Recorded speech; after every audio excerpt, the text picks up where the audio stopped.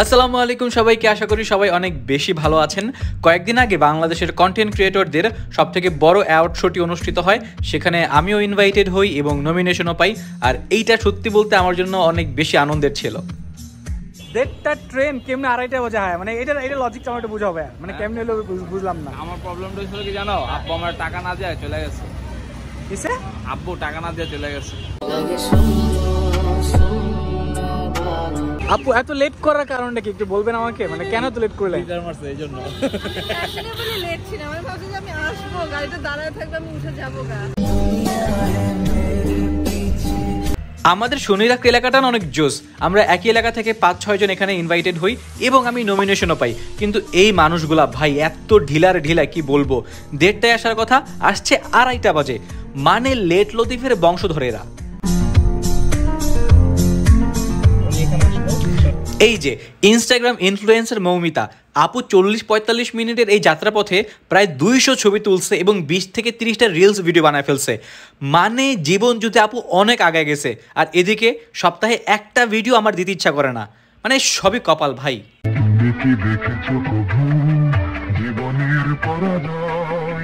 নিবো নিবো।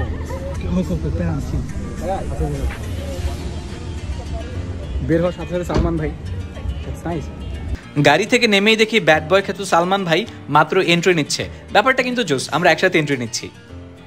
আমি যতদূর জানি এখানে হচ্ছে ইনফ্লুয়েন্সারদের ছড়াছড়ি থাকবে আজকে।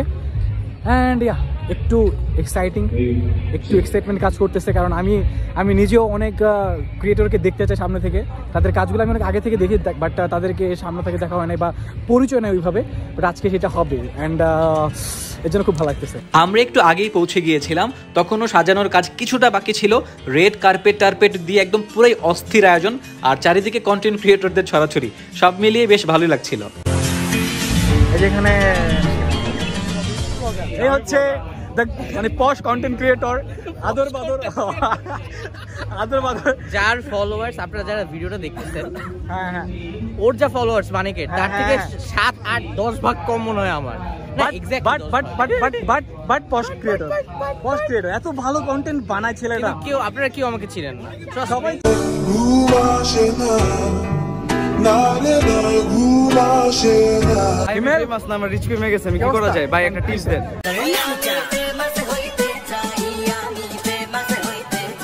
কি করা যায়? পেজে রিচ কমে গেছে গা। পেজে রিচ কোনছে কেমনে তোর?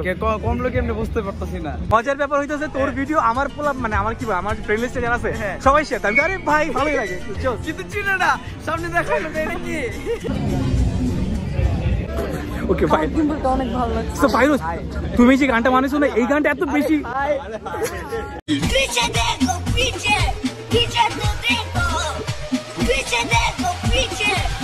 সুন্দর মানে আচ্ছা আচ্ছা ওকে আমি আমার প্রশ্ন ছিল তুমি যে গানটা এত বেশি ভাইরাল আমার ফ্রেন্ড লিস্টের এমন কোনো পোলাপাই নেই যে গানটা শেয়ার দেয় নাই। তোমার নিজের গান কবে আসতে আসতে আসতেছে ইটস আ সারপ্রাইজ ওকে আমার but huge soon but soon আমার huge fan of yours and আমার জন্য দুটো লাইন বলো।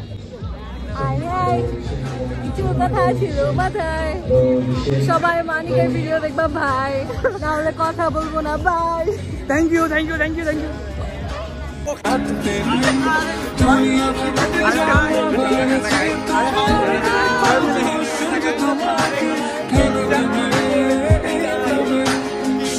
আমি না এত ক্রিয়েটর জীবনে একসাথে কখনো দেখি নাই। প্রত্যেকের হাতে ক্যামেরা সবাই শ্যুট করতেছে ভিডিও করতেছে, কেউ ছবি তুলতেছে, কেউ ড্রোন উড়াইতেছে মানে পুরাই মাথা নষ্ট করা ব্যাপার স্যাপার। এই হচ্ছে গিয়ে নমিনেশনদের যারা নমিনেটেড হয়েছে আর কি, তাদের ছবি।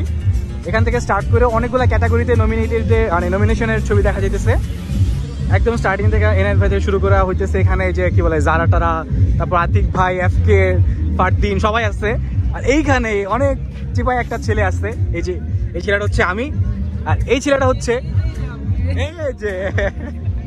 এই যে ডেনিম জ্যাকেটটা আমার গায়ে দেখতেছেন, এটা মেটিওর আমাকে পাঠাইছে। খুব সুন্দর আর কমফোর্টেবল চাইলে ওদের পেজটা ঘুরে আসতে পারেন আর ভালো লাগলে কিনতেও পারেন।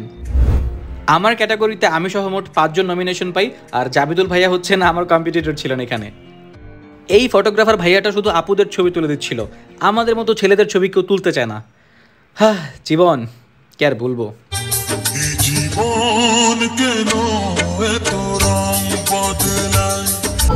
টিকটকের জন্য জায়গা বানানো হয়েছে প্রত্যেকে কন্টেন্ট ক্রিয়েটর এই একটা বিনি ভাই কন্টেন্ট বানাইতেছে এই যে কন্টেন্ট ক্রিয়েটর এই যে দ্য গ্রেট কন্টেন্ট ক্রিয়েটর সবাই দেখতেছে যে কে কারে নমিনেশন দিয়েছে কে পাবে কে পাবে না। এই আরেকটা content creator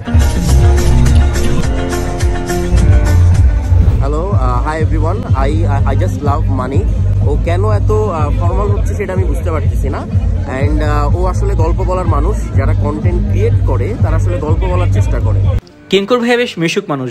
ওনার লেখা দুই চারটা টিভিসে আমি দেখেছি। সত্যি ওনার থট প্রসেস অনেক বেশি জোস ছাপ্পান্ন হাজার বর্গ মাইল না পুরো মানচিত্র পুরো পৃথিবী। সো শুভকামনা তার জন্য এবং যারা মানিককে ভালোবাসে, তাদেরকে বলব এই সামান্য লেখক কিঙ্করকেও যেন একটু ভালোবাসে। অনেক ধন্যবাদ। আয়োজনে কোনো কমতি ছিল না। এত চমৎকার আয়োজন হবে আমি প্রথমে বুঝতে পারি নাই যতটুকু জানি, এটাই হচ্ছে বাংলাদেশের সর্ববৃহৎ কন্টেন্ট ক্রিয়েটরদের অ্যাওয়ার্ড শো এর আগে এভাবে উদযাপন বা আয়োজন করা হয় নাই উইচ ইজ রিয়েলি গ্রেট আজকে আমার প্রিয় ক্রিয়েটর এ ছেলেটারে পাই আমি একটু বেশি ফাইজলামি করছি। Sorry bro don't mind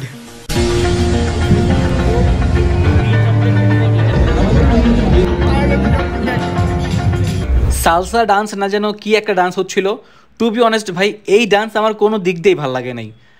Sorry but I did like it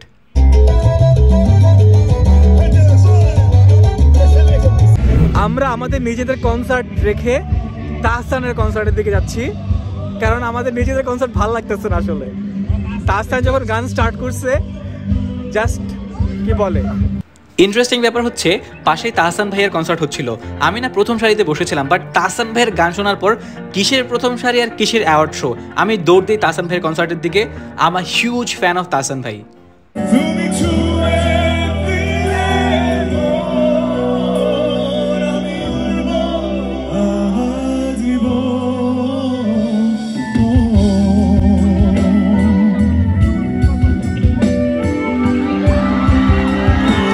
ভাইরে ভাই কবে যে তাহসান ভাইয়ের সাথে স্টেজ শেয়ার করব আল্লাহ জানে। ইনশাল্লাহ স্বপ্ন একদিন পূরণ হবে। ইচ্ছা যেহেতু আছে একদিন তাহসান ভাইয়ের সাথেই স্টেজ শেয়ার করব ইনশাল্লাহ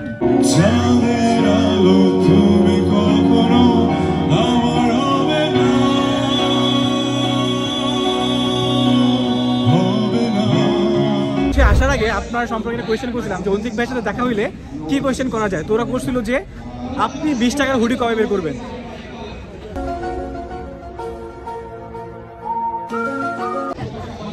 কাজ করেন। প্রত্যেক মাসে আপনারা আমাকে এক লাখ টাকা দুই লাখ টাকা করে পাঠান আমি বিশ টাকা দিতে ঘুরিয়ে ঘুরে দেবো ফাইন সমস্যা থ্যাংক ইউ আচ্ছা থ্যাংক ইউ একটা ছোট্ট ক্লিপ নিচ্ছিলাম তখন দেখি মিমি দ্য গ্রেট আমার ক্যামেরার দিকে তাকিয়ে আছে। সো হ্যালো অ্যাস্থেটিক ডান্সার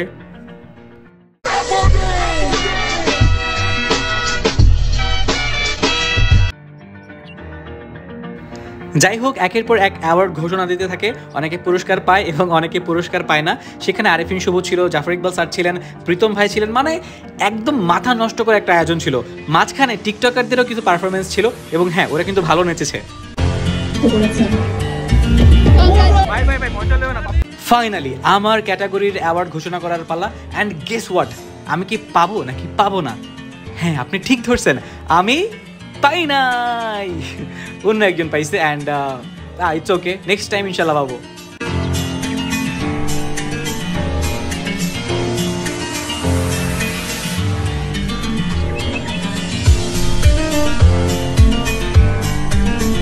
যাই হোক, অতপর একটু ফাইজলামি করে আমাদের তাসপি আপুর সাথে মিম ডান্সিং করে আমরা বাড়ির উদ্দেশ্যে রওনা দিই।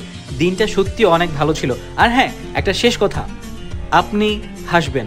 হাসলে আপনাকে অনেক বেশি সুন্দর লাগে। আল্লাহ হাফিজ। ভালো এক্সপিরিয়েন্স ছিল।